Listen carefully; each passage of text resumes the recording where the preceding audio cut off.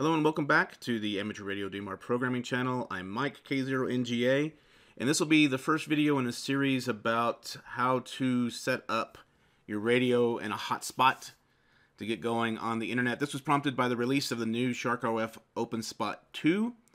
Uh, but I have noted uh, several times folks talking about this as a certain things that uh, aren't quite clear in getting this set up. So the first thing that I wanted to talk about today is the frequency. So something that people don't realize is that the hotspot does come set up on a default frequency, but this is may or may not and probably will not be uh, the frequency you should use for your hotspot. Now, I, uh, every hotspot is different. Uh, I tend to talk about the open spot, but these concepts will apply to other hotspots as well. Uh, the easiest way to get the hotspot up and running is to use a simplex frequency.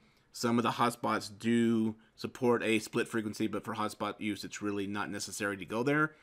So you need to choose a simplex frequency to use. Now, how do you go about determining what frequency you should use? And the answer to that question is that depends on what state you're, you're in. Each state has a frequency coordination council or organization or whatnot. I live in Colorado.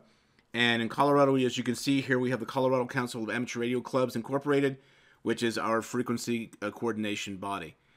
Now, each one of these organizations will typically publish a band plan or a band use plan. Some don't, some do.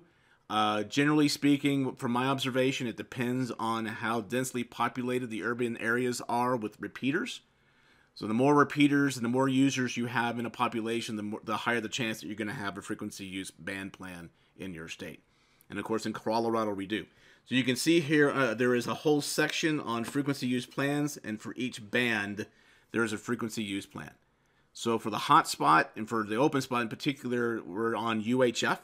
So we want to go to the 420 to 450 Colorado plan, which is now in revision D. And you can see here they have everything laid out very nice in this particular uh, band plan. And they have some the, the sections built out here. But very, very quickly on the right side, you can see they have some FM voice simplex frequencies. And here's the one that I think is most appropriate to use with your hotspot, and that's the narrow band digital voice simplex frequencies. So we are using DMR, which is digital. We're using voice communication, and it is narrowband because every pretty much everything in DMR is narrowband. So right away, we have a list of frequencies here. We have two, four, six, eight, nine frequencies set aside that we can choose from very quickly to use for our hotspot. And there is a note here, these channels are shared usage and not coordinated by the CCARC. That is a good thing, again, because the hotspot is a very, very short range use type of device.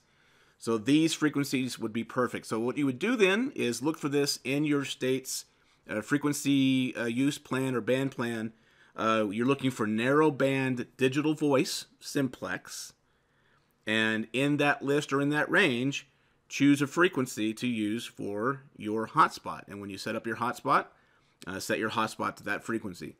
Uh, just as a personal note, and again, this isn't a recommendation, just for your information, I have a hotspot for DMR and I have another hotspot for D-Star.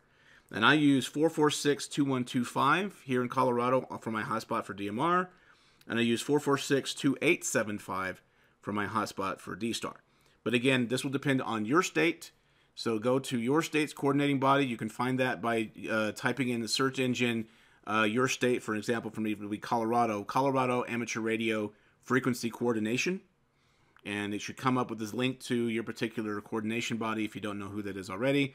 Go to the website, look for the frequency use plans, and look for a frequency on the narrowband digital voice simplex list.